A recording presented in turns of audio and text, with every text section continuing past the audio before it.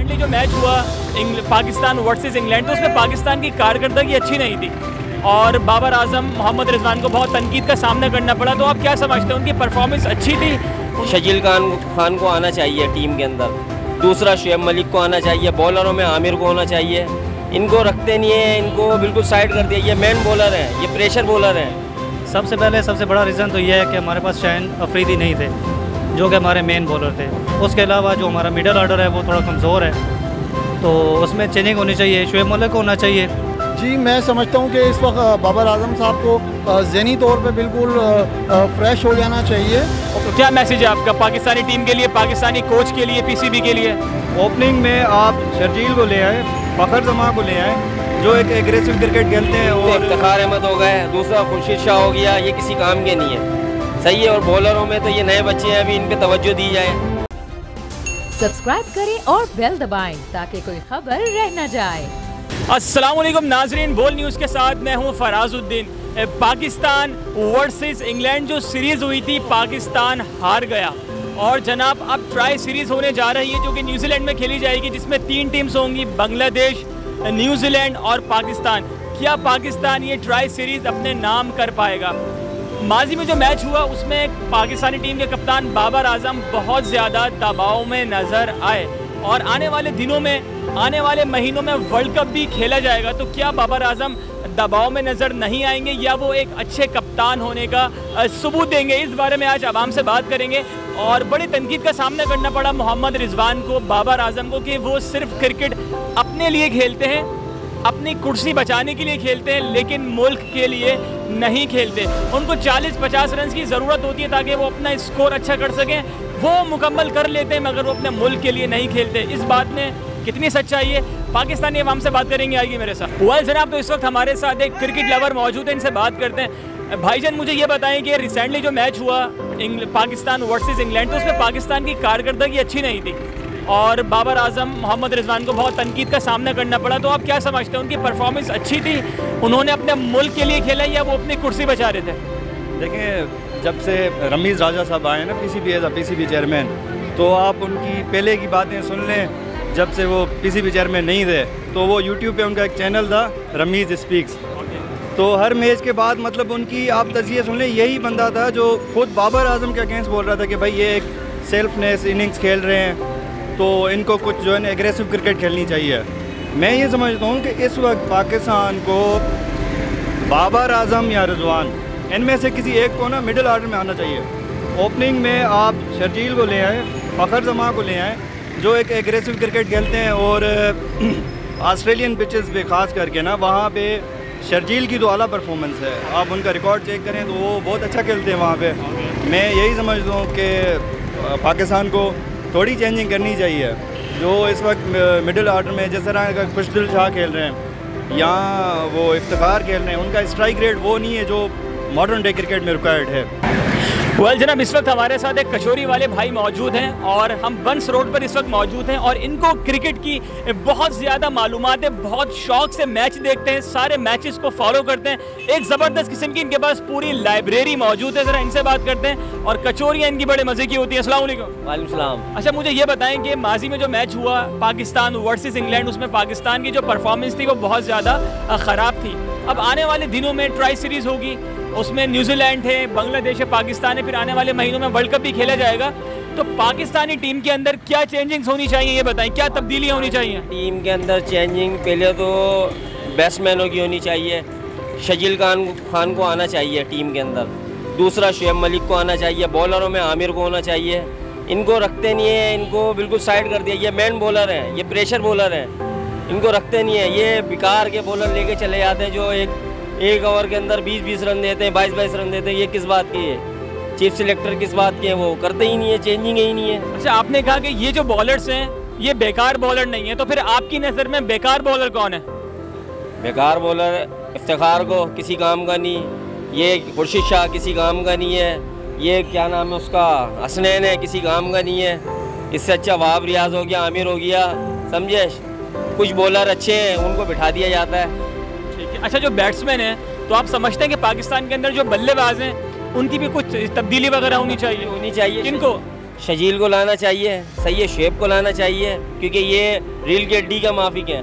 ये जब खड़े हो जाते हैं इनका प्रेशर ही अलग होता है। तो फिर हटाना किसको चाहिए? हटाना किसको? यहाँ शान मकसूद किसी काम का नहीं है क्या कर कार कर दिए उसकी कुछ भी नहीं है। इसकी जगह शजील लेके आए शुएब मलिक लेके आए अच्छा ये जिन खिलाड़ियों के नाम आपने बताए अगर वो पाकिस्तानी टीम में आएँगे तो पाकिस्तान ट्राई सीरीज़ और पाकिस्तान वर्ल्ड कप जीत जाएगा। बिल्कुल जीतेगा। बिल्कुल बिल्कुल जब उनके ऊपर ध्यान दिया जाएगा कोच उसके ऊपर तवज्जो दिलवाएगा तो ऑटोमेटिक जीतेगा वो। अच्छा पाकिस्तान अभी माजी में जो सीरीज़ हारा है इंग्लैंड से वो क्यों हारा? वो बैटिंग लाइन नहीं थी ना एक तो बैटिंग लाइन उनकी लूज बाबर और रिजवान के अलावा कोई चल नहीं रहा।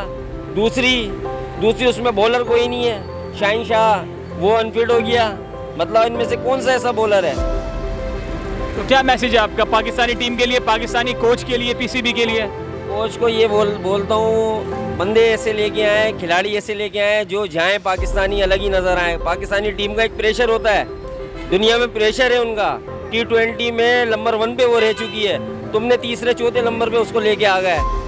उसको तोड़ के एक, तो कोच चेंज हो जाता है कोई कुछ हो जाता है खराबी पसंद ना पसंद वाली कहानी चलती है उनमें। अच्छा अभी जो पाकिस्तान की टीम में खिलाड़ी मौजूद हैं भले वो बॉलर हो या भले वो बैट्समैन हो कौन है उसका नाम बताएँ जिसको आप समझते हैं कि उसको पाकिस्तान का हिस्सा नहीं होना चाहिए उसको रिटायरमेंट लेनी चाहिए और घर पे बैठना चाहिए? एक तो इफ्तार अहमद हो गए दूसरा खुर्शीद शाह हो गया ये किसी काम के नहीं है। सही है और बॉलरों में तो ये नए बच्चे हैं अभी इन पर तवज्जो दी जाए। सही है इनको यानी कि अभी सीखने की उसमें ये है ये अभी उठ के बाहर आए इनको तवज्जो चाहिए।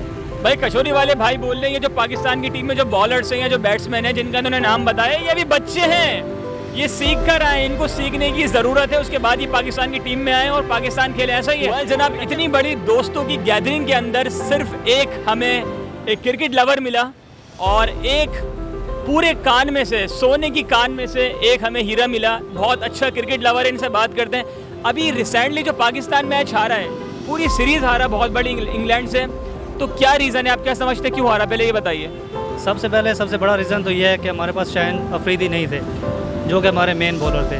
उसके अलावा जो हमारा मिडल ऑर्डर है, वो थोड़ा कमज़ोर है। तो उसमें चेंजिंग होनी चाहिए, शुएब मलिक होना चाहिए, लाजमी बात है। और उसके अलावा जो है, अगर मिडल ऑर्डर में देखा जाए तो कोई एक अच्छा बैट्समैन होना चाहिए, जो कि पचास या सौ रन तेज़ इनिंग्स के लिए पच्चीस गेंदों में पचास या तीस गेंदों में पचास लाजमी करे। अच्छा ये बताएँ कि बाबर आज़म ने जो माजी में मैचेस हुए उसके अंदर बाबर आज़म ने ओपनर खेला। तो बाबर आज़म को आने वाले मैचेस के अंदर ट्राई सीरीज़ के अंदर वर्ल्ड कप के अंदर ऐसा ओपनर आना चाहिए या उनको वन डाउन आना चाहिए? बाबर आज़म ओपनर ही आना चाहिए। रिजवान भी ओपनर अच्छा है लेकिन जो मसला है कि तेज़ खेलें। आप नहीं समझते कि अगर बाबर आज़म वन डाउन आएँगे तो ये ज़्यादा बेटर है पाकिस्तान की टीम के लिए और बाबर आज़म के लिए क्योंकि बाबर आज़म जब वन वन डाउन आते हैं तो अच्छा परफॉर्म करते हैं। ओपनर बैट्समैन आते हैं तो अच्छा परफॉर्म नहीं करते। बाबर आज़म एक वायद ऐसा खिलाड़ी है जो जिस नंबर पर भी खिलाएँगे वो खेलेगा। उसकी आप टीम में जो है ना जहाँ पे भी जिस नंबर पे खिलाएँगे कोई टेंशन नहीं है परेशानी अच्छा अच्छा माजी में बाबर आज़म बहुत दबाव का शिकार थे। उनकी परफॉर्मेंस अच्छी नहीं थी वो बहुत ज़्यादा स्क्रीन पर टेलीविज़न पर दबाव में नज़र आए। तो आने वाले मैचेस के अंदर आप क्या समझते हैं कि बाबर आज़म दोबारा दबाव में नज़र आएँगे या वो एक अच्छे कप्तान होने का एक अच्छे पाकिस्तानी टीम का कप्तान होने का सबूत देंगे? दबाव का कोई दबाव की कोई बात नहीं है थोड़ी बैड लगती है उनकी। इनशाला वो नेक्स्ट मैचेस में बेहतर परफॉर्म करेंगे।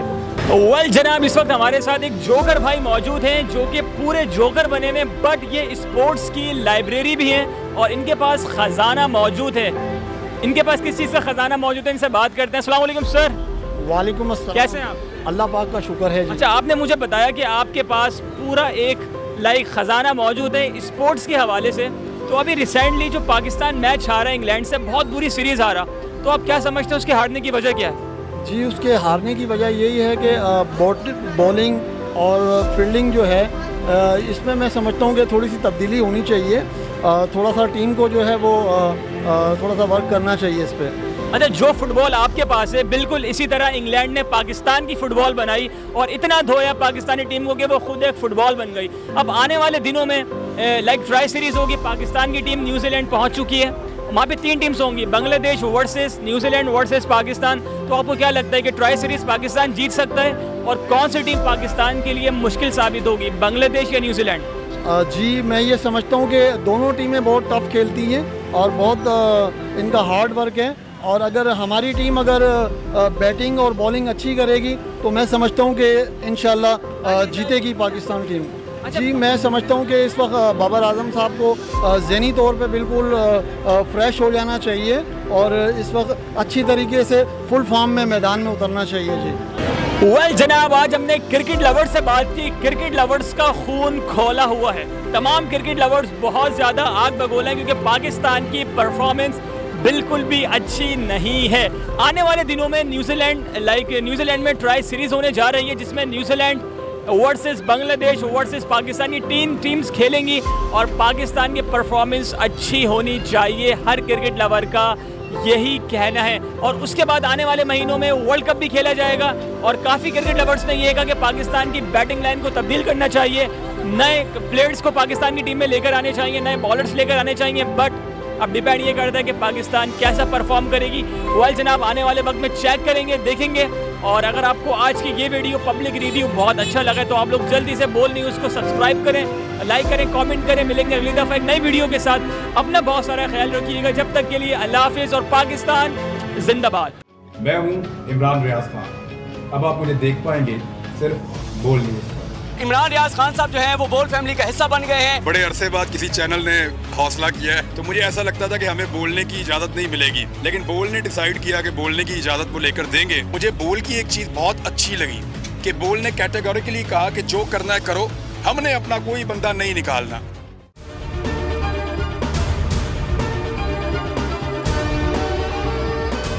सबसे ज़्यादा व्यूज़ सबसे ज़्यादा रील्स और सबसे ज़्यादा रेटिंग के साथ बोल अब भी नंबर वन पोजीशन पर बरकरार। सब्सक्राइब करें और बेल दबाएँ ताकि कोई खबर रह न जाए।